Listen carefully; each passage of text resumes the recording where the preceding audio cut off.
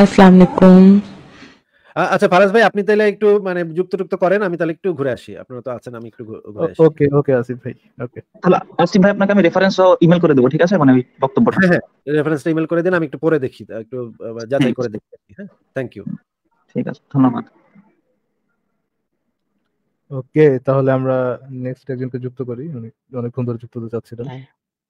Live live hello live আপনাকে হ্যাঁ। যুক্ত করা হচ্ছে প্লিজ আনমিউট করুন। হ্যাঁ ফারাজ ভাই আপনি আমার কথা শুনতে পাচ্ছেন? জি আপনাকে শোনা যাচ্ছে বলুন। হ্যাঁ আমি কি সালাম দেব কিনা? ওকে সিরিয়াসলি আসসালামু আলাইকুম ভাই। ভালো আছেন আপনি? জি ভাই ভালো আছি আশা করি আপনি ভালো আছেন বলুন ভাই। আমি অপেক্ষা করতেছিলাম মানে আমি সত্যি বলতে আমি যে আসিফ ভাইয়ের সাথে কথা বলব এরকম কোনো বিষয় না। আপনি আপনার কাছ থেকে আমি অনেক কিছু শিখছি। আসিফ ভাই তো ভিন্ন ব্যাপার থাকে। তবে আপনার কাছ থেকে আমি অনেক কিছু শিখছি।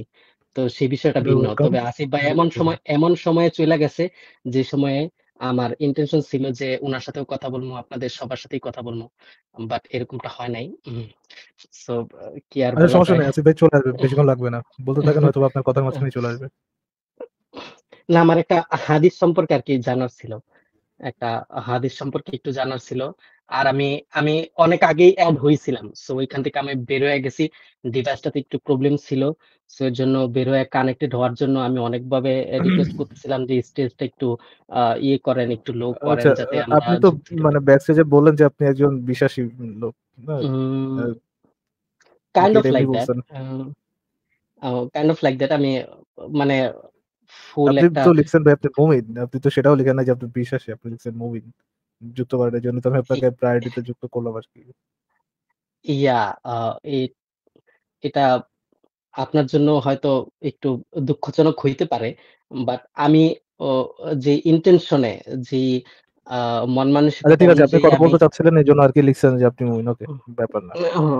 ওকে ওকে সেটা কোনো ব্যাপার না। আচ্ছা হাদিস নিয়ে কথা বলতে হলে আপনি ইসের সাথে কথা বলেন আসিফ ভাইয়ের সাথে কথা বলেন আহ, বা আল্লামা ইকবাল আছেন যদি উনি চান। আল্লামা ইকবাল আপনাকে হাদিসের কোনো রেফারেন্স সম্পর্কে কথা বলতে চাচ্ছেন সমস্যা নেই হ্যাঁ হ্যাঁ। হাদিসের মতনটা নিয়ে আসেন এরকম একটা। হ্যাঁ আমি মতন সনদ সবকিছু নিয়ে আসব মানে কথা বলতে চাইতেছি আর কি।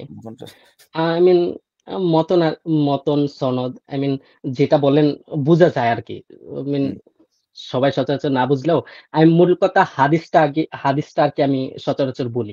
হাদিসটা বলি তারপরে লাইভ ভাই লাইভ ভাই ভাই হ্যাঁ জাস্ট হ্যাঁ জাস্ট একটু ফান করলাম ভাই। এখানে যদি হাদিস কোরআন নিয়ে কথা বলতে হয় ভাই ওই আপনি যার জন্য আসছেন হ্যাঁ একটু ওয়েট করেন। হ্যাঁ আমি মনে করি না ওইরকম আপনি নিন না ওইরকম ভাবে নিন না। মানে আমি- ফারাজ ভাই ফারাজ ভাই আচ্ছা আচ্ছা, ঠিক আছে ঠিক আছে সমস্যা নেই লাইভ ভাই তাহলে যদি আপনি হাদিস নিয়ে কথা বলতে চান আমি আপনাকে ব্যাগে রাখতেছি আপনি অন্য কারোর সাথে কথা বলুন। একটু হাদিসটা শুনেন একটু হাদিসটা শুনেন তারপর আপনি আমার ব্যাকে রাখেন বা আমি আবার যুক্ত হইতে পারব কিনা। আচ্ছা মানে আমার আসিফ ভাইয়ের সাথে একটু কথা বলার ইয়ে ছিল আমি জাস্ট হাদিসটা বলি ওকে হাদিসটা এরকম হচ্ছে যে আপনার আহ, যে দাজ্জাল সম্পর্কে ওকে দাজ্জালের এক চোখ কানা থাকব আর মনে করেন দাজ্জালের দুই হাতে জান্নাত আর জাহান্নাম থাকব তাই তো? হুম। হ্যাঁ দাজ মানে আল্লাহ বলে দিতেছে তার যে হাতে জান্নাত থাকব সে হাতে থাকব জাহান্নাম আর যে হাতে থাকব জাহান্নাম সে হাতে থাকব জান্নাত। লাইক উল্টাপাল্টা হয়ে থাকব ওকে এই মানে এই বিষয়টা বোঝা যায় যে আহ, মানে দাজ্জাল বুঝতে পারে না যে যে ভাই আমার ভাই। ভাই এটাই তো বুঝলাম না। হাতের মধ্যে যার নাম থাকা এটা মানে মানে ওনার দুই হাতে বাম আর ডান হাত দুই হাতে মনে করেন জান্নাত জাহান্নাম থাকব। যে যে প্রশ্নটা তো ওই দিকে আসে। প্রশ্নটা হচ্ছে যে দাজ্জালের যে জান্নাত জাহান্নাম থাকব। না ফারাজ চোদ্দশো বছর আগের এক ল্যাংটা পাগল।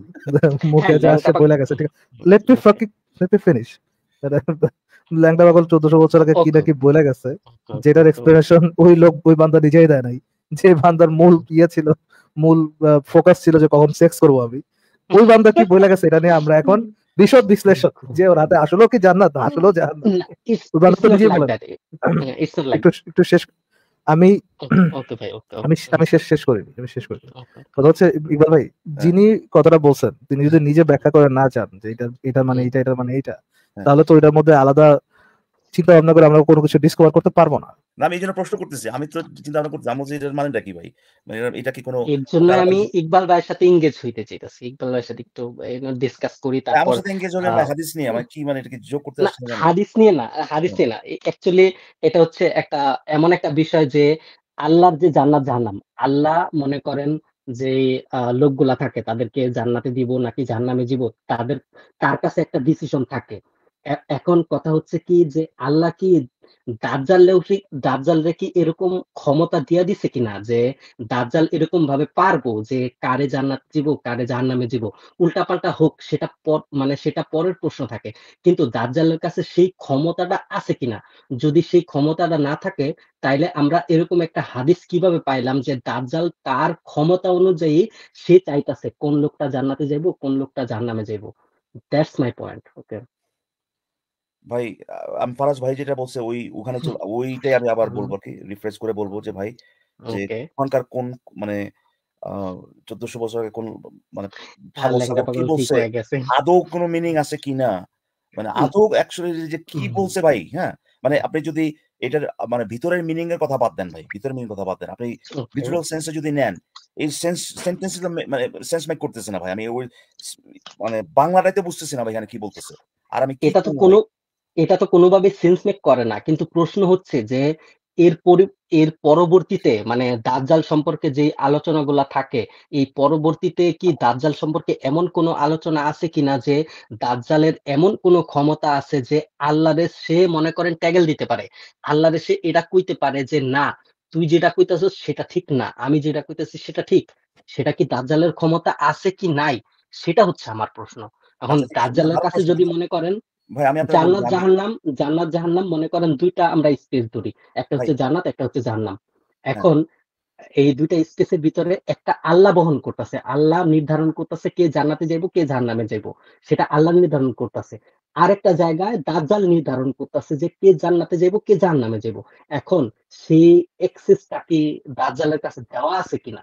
মানে হ্যাঁ এরকম পরবর্তী সময়ে ভালো প্রশ্ন করছেন ভাই ভালো প্রশ্ন প্রশ্ন করছেন। আমি অনেস্টলি বলতেছি ভাই এই মানে দাজ্জাল ফাজাল এগুলো নিয়ে তো আমি কিছু তো জানি না। এগুলো নিয়ে কোনো ভাই আমি কিছু বলতে পারব না আসলে। কোন জায়গায় আবার কোন হাদিসে কি লেখা আছে এগুলো? বেস্ট উত্তর আপনার যদি আসলে এটা কিউরিয়াস জানার জন্য যে ভাই এখানে কি হাদিসে? আল্লাহ ভুল করে দাজ্জালের কাছে ক্ষমতা ট্রান্সফার করল কিনা? হ্যাঁ। এটা আপনি জিজ্ঞেস করতে পারেন আসিফ ভাইকে ঠিক আছে? এটাই আমি বলব। বাট এরপর কিন্তু আমি কিউরিয়াস কিন্তু যে আপনি কেন আপনি কেন এটা আপনার কাছে মনে হলো যে ভাই এটা নিয়ে আমার সাথে কথা বলতে চান? বাট না আপনার সাথে কথা বলতে চাই কেন জানেন? আপনি মনে করেন সবকিছু সম্পর্কে খুব ডিটেলস অনুযায়ী বলেন বিস্তারিত অনুযায়ী এই দাজ্জাল ফাজ্জাল এগুলো নিয়ে আর কি।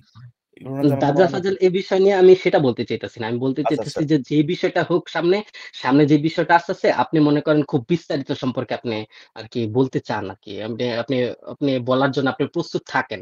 সো দ্যাটস ওয়াই আচ্ছা যাই হোক এনিওয়ে আমার মোস্ট লাইকলি এই ধরনের একটা হাদিস যে মনে করেন আল্লাহ আল্লাহ যে দুইটা দিক নির্ধারণ করছে মনে করেন জান্নাত আর জাহান্নাম ওকে এটা হচ্ছে আল্লাহ নির্ধারণের না কিন্তু এই জিনিসটা কি আল্লাহ নির্ধারণ হাদিস করছে। শোনেন লাই ভাই লাই ভাই এই যে তথ্যটা যে দিলেন এটা কি এই হাদিসে আছে?